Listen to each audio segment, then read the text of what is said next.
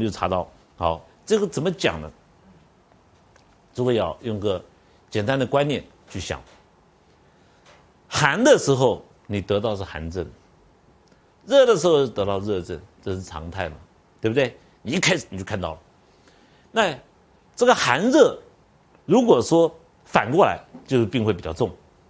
好，病的，比如说你现在热症，居然得了热热天嘛，天很热，哎，居然得了寒症，好，或者是天很冷啊，居然得了热症，这都是不合时节的，好，跟天这个日的气不一样，这个时候这病都会比较重。啊那个这个讲的呢，比如说还有月的虚盛，好，这个月的盈亏，这当讲的是我们一直在《黄帝内经》就是一直在强调人呢受天地之间所影响，好，所影响。那，你真的在治病的时候，需不需要去知道这个？倒倒倒倒不需要，不要去想它外面，而是，比如说现在有一个人来找你看病。现在是夏天，你总知道今天是夏天嘛，热的要死，对不对？你一进办公室，冷气打开来，坐下来，病人来了，夏天，对不对？你一摸他这脉是冬天的脉，病态，对不对？好，冬天的脉，那要是一摸摸到是这个秋天的脉，我们就知道他生病。简单讲就是这样子，好，那不会去真的去知道去忌讳这些东西。好，哎，冬天的时候，如果这个病人来一摸就是冬天的脉，这是常脉，正常嘛？你一摸怎么夏天的脉那么红，它就是病态。简单讲就是这样子，好，所以你要去注意外面的节气。我们能够摸脉看诊，注意到春夏秋冬就已经很够了，真的很够，就已经已经是四时节气了，啊，就足够了。你要不要跑出去晚上看看，白天看太阳，晚上看月亮啊？月亮看的时候，这个你太太看看月圆嘛，哈，嗯，好，没有那么真的做的时候啊，不需要那么细腻。但是基本上，我刚刚讲的，你要知道，我常有所以你们以后有机会跟我临床的时候，好，你在我后面看，我一摸，现在是夏天，对不对？你看那么热，你看他的脉，这是冬天的脉，你看他的病症，好，就可以知道了。这是我们要去好四季要注意的。二百二十二百二十这个事业呢，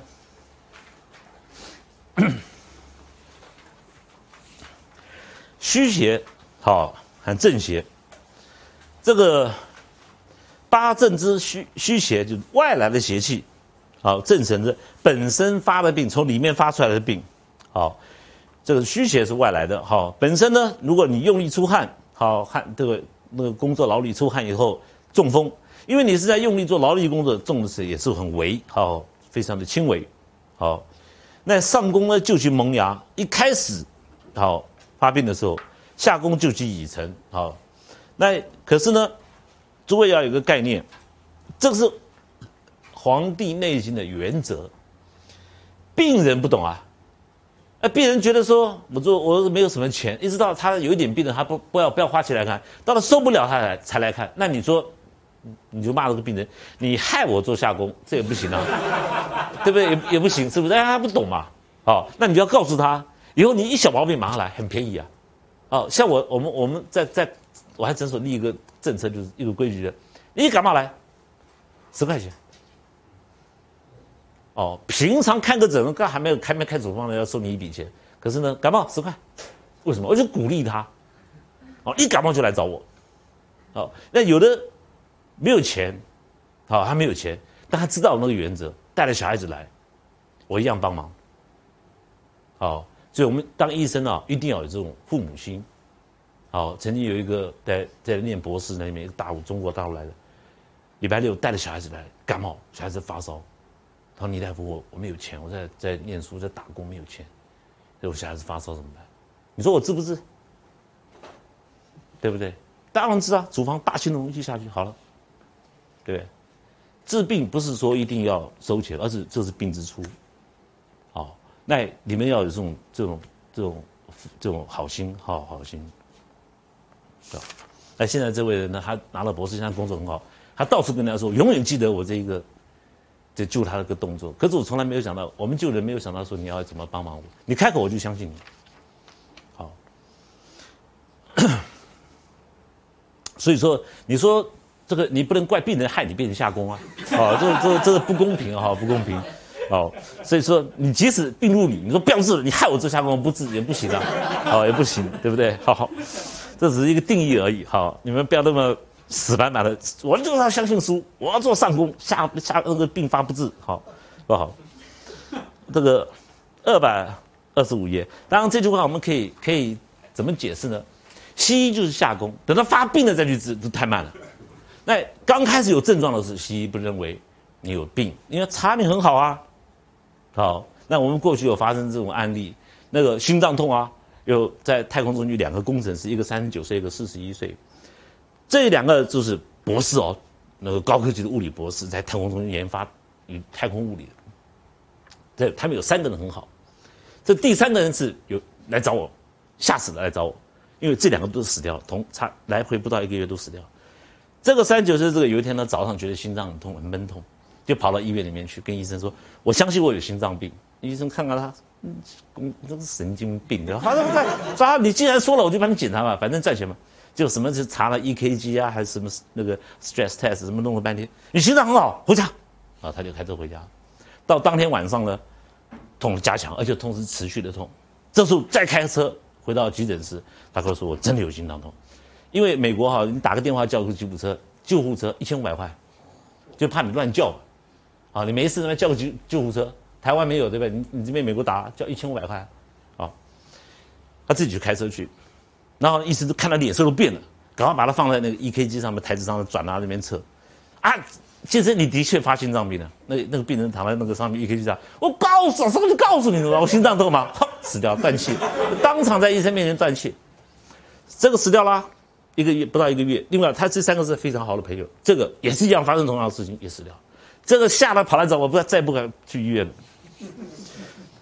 他们的下工下到什么程度？连发病的时候还看不到，一定要等到真正要快到生死抉抉那个抉择的时候才看到。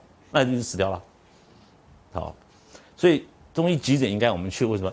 即使你在发病的时候，我们先帮你下这痛去掉，你再去照嘛，啊都没有关系。好，需不需要照呢？不需要，那个机器没有用。好，那二十二百二十五页，皇帝问啊，我听这个这个许多补泻的方法，但是都不了解它的真正的补泻的定义、经义是什么啊？岐伯就说了。好泻必用方，方者以气方盛也。哈，就放着当那个时机气很盛的时候，我们来泻。好，以月亮来说的是正在满月的时候；以月日来说的时候正温的时候；以生来说的时候，当病人身体静下来不动、气定神闲的时候，这个时间我们呢用息方息而内针，病人呢开始吸气下针。好，下针，因为你在吸气的时候气在往冲冲冲大，对不对？你针下去。好，这个 等到吸气的时候，对方在同样是吸气的时候再去点针。所谓转针，就是在做泻的手法。哈，那等到他在吐气的时候针再出来。所谓泄，我们要泄他的气嘛。所以说他在吸气的时候，你针下去正在泄气啊，因为他吸气是这样膨膨胀的，就你给他扎个洞，气不往外走。我们就希望他泄气嘛。好，所以吸的时候进针，吸的时候捻针，吐气的时候气是往外散。这个时候你把针顺着吐气拔出来，让气出来更多。这就是。我们一个针刺的手法能够泄到最强的程度了。好，你不要挖个洞，老师很好，我这个打个洞，好不好？好，那我们有些加强的，比如说苍龙摆尾，对不对？你把我针孔摇大，慢慢慢慢出来，还有摇方啊出来哈，都可以摇摇大针孔，这种都是强强泻的手法。好，好，所以你看黄连连经是不是要懂针灸？啊，你们如果前面没有学过针灸，这个不知道我在讲什么啊。所以泻必用方一定要等到时机。好，气其气而行之，那你要知道什么时候是泻啊？所以最简单的辩证，我们知道实证，我们才要去泻。所以所有的痛、剧痛、强烈的痛，通通是实证。好，那补呢？必用元，元者行啊，就是行气，行者要移动啊。那刺它呢，必中其荣。这个时候本来我们的荣是指血哈，你不要我们要补它的时候，你就专门扎在血管，不是这意思啊。就是扎在血脉旁边下深，好，血在比较深的地方，针要下的比较深，好，那那吸气的时候进针，好，故元以方非针也，哈，故养神者必自行受，哈。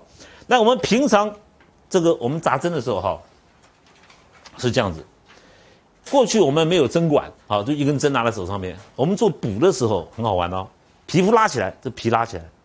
然后针线先进皮层，砰扎进去，啊，因为你拉起来的话，你那个那个气被你捏到嘛，砰先先先扎进皮层，啊，来病人吐气的时候进再推进进去，皮一定先拉起来再扎。当然有的地方不好拉，好，但是我们还是去拉皮这样扎进去，那个比较痛。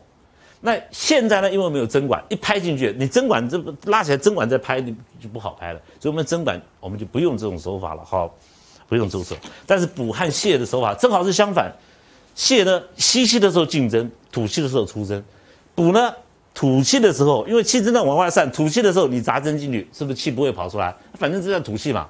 然后吸气的时候来来做插题，好，那等到那个做完补做完补的手法以后呢，等到。我们的吸气的时候，我们把针吸了。因为吸气的时候，气一直往身体里面走，这时候你把针拔出来，好，门针把针马上按住它，好。泄的时候，我就让它针拔出来以后，等个几秒钟再去按针孔，好，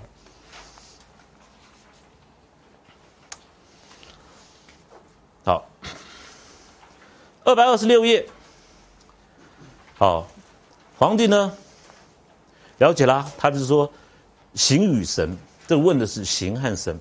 何谓形？何谓神？好，岐伯曰：好，这个目敏敏问其所病，所至于今。好，然后慧然在前，按之不得，不知其形，故曰形。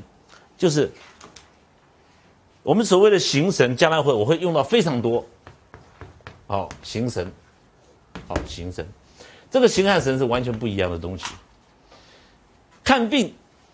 你如果说根本不问病人，什么望也不看病人的脸色已经黑了，好，你还在那边，我不要看你，摸你的脉，好，就是只有形，没有神。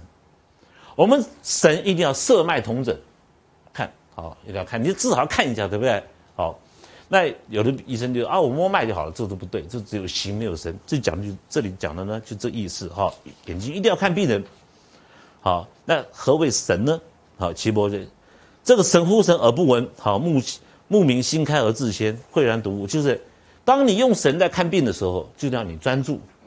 专注的时候，这个时候你太太叫你师傅要吃饭了，你一想什么都听不到，好专心的摸脉。哦，你如果一叫你就分神了，等一下你就神已经失掉了。好，所以你一定要先跟太太讲清楚。如果太太在诊所，最好是不要在诊所里。好，但你相信我，太太最好不要在诊所里。好，这个。那一定要专神，好，这是用神。我在还会，我们后面还会讲形和神，我会把它分析的很透彻啊，让你们学到这个形神，好，那那一定能够掌握到它的重心。你不会，我也要把你教会。好，老师这个很难吗？都这个看也看不到，摸也摸不到。中医本来就是哲学嘛，哲学是形而上的东西，好，形而上的东西。那在形而上的东西，不是说仪器可以看到的，好，所以所以你要去。要让大家能够体悟的时候比较难一点。好，那我我找了很多好方法让诸位了解。好，那三步九侯之源，好，九针之药不必存也。如果说你能够掌握到治病的神，就是你能很专注的听病人讲话、问诊，知道抓抓重点。你不会说，你看啊，有些医生啊，你那个你摸脉啊，你看，然后看看了病人，病人告诉你。这情形以后，你怎么不会说？呃，你兄弟姐妹几个？都都，你你那个问题是鸡同鸭讲啊，对不对？都都病人来找你看病，你问我兄弟姐妹几个，你就可以知道医生有没有神。啊，那我们在看病的好医生呢，摸脉问他病人跟你陈述的时候，你两三句话就病就结束了，用神，很简单。哦，我们看医生问病人问的问题越少，这个医生越高明。好，那问的问题的词不达意，啊，这个这个风马牛不相干，这都是不好的医生。好，这里讲的就是这个。哦，那第二百二十八页《离合真邪论》篇，啊，《黄帝内经》第二十七篇，好，这篇也是好很很好的一篇。这个讲呢。第一段呢，这个我们谈的是邪气从外身体进入，好身人外面身外面进入身体里面的状况，啊，所以第二行他说：今言气之盛衰，左右移请移，哈上以上调下，以左调右，有余不足，补泻于荣枢，好，脉好，邪气在冰经上面，我们如何？好，病人会产生哪些症状？那如何治疗呢？好，一般来说，病在经络十二经脉上面，大部分都是表症，外经外面进来的。有时候你扭伤伤到经络，有时候是伤寒感冒，好发烧伤到经络，都是外露的。好，那经有病的时候，好，那齐伯回答这一段呢，就是专门讲天地中间的邪进入身体的时候，我们讲邪就是一个一个病，所以说以前。很多人呢，西医在研究中医的时候说：“你看这个中医啊，用邪，这个字很很很讨厌。你说这个邪哈，就让我不相信的地方，你错了。你真的读通了之后，还还只有用这个字比较好啊。好，为什么？因为你把病立名以后，你请回去去看了各种病毒以后哈，你反而不好。你看太细了，有没有必要看那么细呢？没有必要，反而更坏事，因为它存在在那边。”那那我们一一个邪就代表生病了，你不舒服，那不舒服知道你舒服，那里面即使有即使有一些病毒在里面，没有关系，它不会这个作孽的。最好面我们治哦，好像我们治病，那我们比如说一个人五十岁了，啊，他得了肝癌，我们把他治好了，可是他他跑出怎么做正子扫描啊，说肝里面还有一个小肿瘤，这个可能是可能是癌症，他就紧张了，开始动。那你有没有想过，这个小肿块可能五十年、一百年他都不会困扰你了？它不无害的嘛？你为什么要去把它找出来？所以西医是挤把你挤出个病来，他不相信，他不相信，他的设定的世界上没有健康的人，好，挤挤个病出来，好，所以他的观念是这样，人都没有健康的，所以你如果没有吃药，哦，就觉得很奇怪啊。等到说查出来说非要这样子治的时候，好，这一定一定有问题要治的时候，给你治的什么？又叫你去吃阿司匹林，好，没有用，因为没有药，啊，想尽办法把你搞死掉。哦，所以说，如果你喜欢被屠宰，好，到医院去被屠宰，好，这个呢，好，这一段呢，好看二百二十九页，哦，这个天地之间有有二十八速有速度，地上呢有有那个河流山川河流，人也有经脉，经脉经就是大河，好，比如长江黄河这种是大经，那小的河川呢，好。天地温和的精水安静，天寒地冻的精水离气，所以冷的时候，经里面的气会凝固住，对不对？啊，我就讲嘛，寒就是造成淤血嘛。人家说他担心淤血块流回回心脏，会造成心脏这个心脏病，淤血块进入脑部会造成脑脑血管栓塞。你就没有想到这个血块就是天寒地冻，经脉太冷嘛？好，那你就用吃一些让血液变稀的药。那你想让血液变稀的药，你有没有想到它的后遗症呢？血液不能太稀啊，啊，血管就会破裂，对不对？哎，结果的确是没有堵塞，可是你血管破裂了，血溢出来，脑溢血，好，这个不，好，这都是讲得很清楚嘛，好，那人呢，天暑地热，精水的肺溢，哈，太太热了，好溢出来，如果太热的话，好就会满则溢，那逐风暴起，这精水波涌而隆起，好，这个这个风。这个大水来之前有大风，好，一定会这样子。如邪之入于病啊，病邪入到经脉里面，寒则血凝血，这就是寒热了哈。诸位，这个就关系到我们诊断，关系到我们处方，因为我们处方里面有很多热的药，热的药。好，如果暑呢，则气浊者，这热气往上升，好，暑太热，暑啊。那虚邪这个时候呢，因为寒，因为太暑太热，造成。病邪呢会跑到身体里面来，好，就好像外面山川河流有风一样，哈，经的动脉，好，这个好也是一样，就是受到这些，当我们有过寒或过热的时候，这些机会都是天外在的邪进入我们身体里面，侵犯我们身体人体的时候，好会产生的，好，那我们是寸口的脉呢，有的我们可以有时候可以从寸口脉看出来，时大时小，当脉太大，代表邪来了。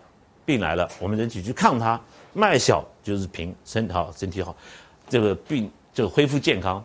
那如果一个病人脉大，你给他治到一治完，他吃完药以后脉就平缓下来，脉速度变得很快哦。那你在用经方的时候，瞬间就变掉了，好，有时候三个小时，有时候隔夜就变掉了。那你如果用一般温病派的方子，不会变，好，不会变。那有的时候方子吃下去的确很好，表面上很好，实际上病根没有去掉，病的根没有去掉。好那这个这一段呢，后面这边就息而内针，吸的时候，我们把针插进去，插到身体里面去，好，这个不伤到气，好，静以久留，无令气。这个吸则转针以得气故，这是泻的手法嘛，对不对？呼好，等到呼的时候再引针出，哈，再出针把针拔出来，好，这都是这个泻的好补泻的泻的手法。这是，那就还在讲补泻，二二百三十页呢。不足者补之，病人呢，我们有经脉不足的现象，麻木，病人酸，隐隐作痛，病很久了，这个痛很久了，久病为虚，好，都是我们要用补的手法，虚实辩证就是这样来的。哈，补之。那岐伯呢是先门而寻之，切而善之，退而暗之，弹而怒之。就是先去揉揉那个要下针的地方，好好，那那有有遇到血管，把它切开来，好，把它用指头推开来，好，那抓而下之，就是抓到皮肤，把皮捏起来，针扎进去，好。当然我刚刚跟诸位讲过，现在我们不用了，好。那呼进，等到病人吐光气的时候，针下进去，静以久留，好，以气滞为故。我们为什么要久留？就是要等他的气，气到的时候，皮肤可以看到变成粉红色，针的周围一块粉红色。气来的越大，粉红色的块越大；气来的越小，粉红色的块越小。健康人比较强壮的人气都很大，那针扎进去啊，扎了半天就就没有什么气，只有针孔周围一点点气，那身体都很虚了。那扎进去是那样子，二十分钟起针还是那样子，那个气都虚掉了，急虚啊。所以一般你帮病人扎针的时候，那个那个背上或者手脚旁边那个针孔旁边一层粉红色，都是气滞，好气滞可以看到了，好，你扎进去是青色的，那是扎到血管好里面淤血，那不是气滞，那是血滞哈。我们要气滞，不可以血滞，是你扎错了好，好，那气滞的时候啊像带来像贵人到你家来，好要按要好好招待他。所谓不知日暮，就是你不要不要管好太阳，好不要管它时间，以气滞好。那等到吸气到了以后，好气平了，好这个时候呢，等他病人吸气的时候，把针拔出来，气让气不出不漏出去，好这个时候推合其门，好令神气神大气流子，这就是补的手法，好所以补和泻在这里，好很简单，呼气的时候吐气的时候进针，吸气的时候出针，这就是补，好反过来就是泻。那我们那个皇帝问他吼气，在那边等那个气来呢，什么意思啊？好，岐伯就开始下定义了。血本身呢，离开络的时候，跑到经脉里面去的时候，那当携带血脉里面的时候，因为时来时去，他不常常待在这边，有时候还会回到路里面，有时候回到经里面去。哈，这个是我们呢。在扎针的时候，针灸的时候，是在方起来的时候下针。好，我举个例给你听。不要说针灸，药都是一样。这病人说肩膀痛，我说你现在痛不痛？嗯，不痛，不扎。我找你找你看病，你不扎针，现在气没到，病气没到。好，你下次痛的时候来找我，你不用管时间，直接走进来就好了。头痛也是一样。那以前呢，刚开始不了解啊，不了解这个意思啊。好，反正头痛，现在不痛，我们也是扎了。好，看他看他这个那个在胆经上面针来，我们就下针了，效果并不是很好。结果呢，我们后来反反个方法了，等到痛的时候来找我，那我们就碰到这种案例。这个太太呢，头痛二十五年，痛的是吃止痛药，止不住还是头皮撞墙。那吃到一一一天一天要吃二十五颗止痛药。不，这个止痛药不是二十五颗，而是吃这个药会伤到肝，那要去吃一个另外一个药来补那个固肝，免得伤到肝。那吃的固肝的药呢，这个药会伤到肾，那要去吃另外一个药去补救肾，免得伤到。那吃这个补救肾的药会伤到脾脏，那要是吃另外一个药，所以他他好全身好像是大补丁一样，真的止痛药就一颗，可是后遗症很多。那吃了二十几年，那你怎么办？头痛啊，二十几年。那早上来的时候说你痛不痛？现在不痛，滚蛋。不要，他说你还把我赶出去啊？对啊，你现在不痛啊，对不对？你我我来的时候吃的止痛药，好，你记得痛的时候来找我。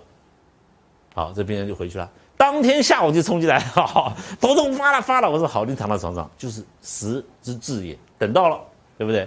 这个发病的时候，就是代表需要治疗的时候，针一下去，痛就好了。我说你现在明天都不要来了，等到痛再痛的时候再来。结果三天以后他痛又来了，又再来。他说我这个痛来了，但是只有百分之二十，二十几年的头痛，好去掉百分之八十，只有百分之二十。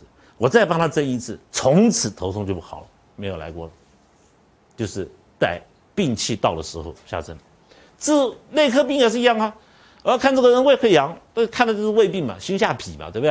啊，那五种泻心脏很简单，都开个处方，一定对症的。哎，他吃的不会好啊，对不对？怎么吃了一个礼拜还不好？不对，火大了。我们知道方子怎么查还是那个方子，对？没有错，就就拿一包粉剂这样放到口袋里面，胃痛的时候吃。哎，你不痛代表身体不需要了。哎，他就这样一剂就好了。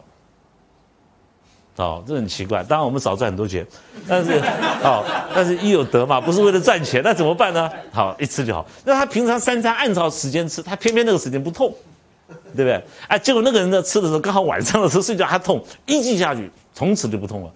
你看，所以方子绝对是对，我们还要对准时机，好，时机要对。好，所以以后大家。做新方做上行家哦，钱钱没办法赚的很多，没有办法哈，哦，这个因为病人好太快了嘛，好，但是你也会很多，为什么？因为更新速度很快啊，你不老是看一个病人看了两年，还是他来看你的，也也不好哈，那那常常有新病人的进来，好，这就是好，我们要要等病到的时候，好到的时候，好，那二二百。三十二中间很多书上有翻译的，我们就不介绍了，看书就可以了。好，二百三十二页，第一行好，若先若后者，血气已尽，其病不可下。就是你如果过早或者是太晚，你去帮他治的时候，时机跑掉了。好，所以呢，第二行中间那边，知机到者都可以。好，会语法不知机者，扣之不发。好，就好像扣了拉了弓弦不发。那我们知道时机的，在瞬间发生的时候去治。那那比如说我刚刚讲这个胃病这个病人对不对？我们知道他要这个方子，我不可能拿个方子来等他发病。他如果在八小时不发，你就跟着他八小时。你老婆保证跟你离婚，你为什么跟那个病人在一起？对不对？所以说他好，你要要带在身边，就告诉他做就好了。好，一定要那有病人只要一痛啊，讲到哎老医师讲这个话没有吃下去啊啊。所以方法很多，不要太死。哈看病的时候不可以太太死板板的。好。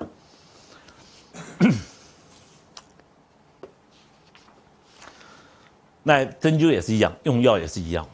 好，二百三十三页。那补泻的目的是干什么？还是想补泻哦？结果是攻血嘛，我们要去邪嘛。好，这个去邪就是我们要做补泻。好，那补泻呢，就是好实则泻其子，虚则补其母。那如果说我们遇到血症，就是淤血堵到，记得淤血堵到，把血要放掉。那这个淤血不不单单是指在膏肓、在腿上、在身上受伤、脚踝裸受伤、有扭伤、有淤血，通通给它用火罐抽掉。好，血要先去，淤血要去。那你如果说淤血在四肢上面，好，脚踝裸的淤血，你拿个火罐把那个那个血拔掉，绝对比你吃药来的快。那你为什么不去拔呢？那给他开药吃，对，吃的苦的要死。但是淤血如果在内脏，你当然不可能去拔，开处方吃，对不对？看看血在哪个地方。那以后我们讲血症，会看到哪些我们可以知道身体里面有淤血，哪些症状我们可以看到。好，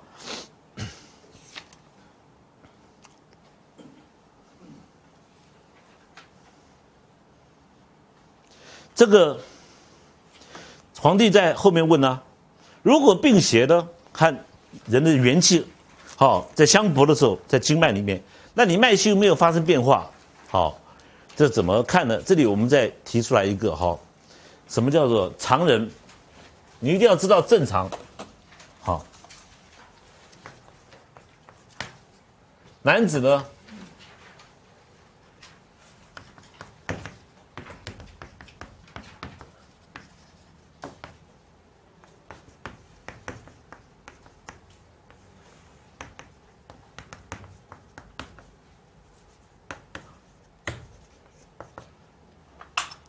左右左左右手，男人呢，左边的脉大于右手的脉。哦，这是，哎，我反了，抱抱歉哈，抱歉抱歉。哎，对对对对对，啊，缺血右气对，左边是血，右边是气，右，男子呢右大于左，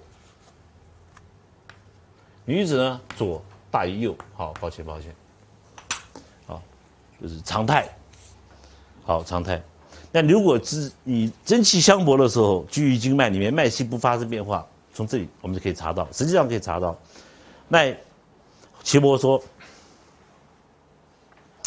这个，如果说我们查不到他的这个三这个手上的脉查不到的时候，你查三部九侯的脉，好，三部九侯，玄离、角孙，好，耳前，好，都是少阳，这是阳明的人迎脉。三部九侯的脉，头头面上的脉跟手脚上的脉速度要一样，啊，速度要一样。那速度有不一样的时候，有忽大忽小，就知道这条经络出问题了。但所以你有时候手上的脉诊不到的，好诊不到的。所以说不知三步者，阴阳不别，天地不分。好，所以我们要知道三步九侯。好，那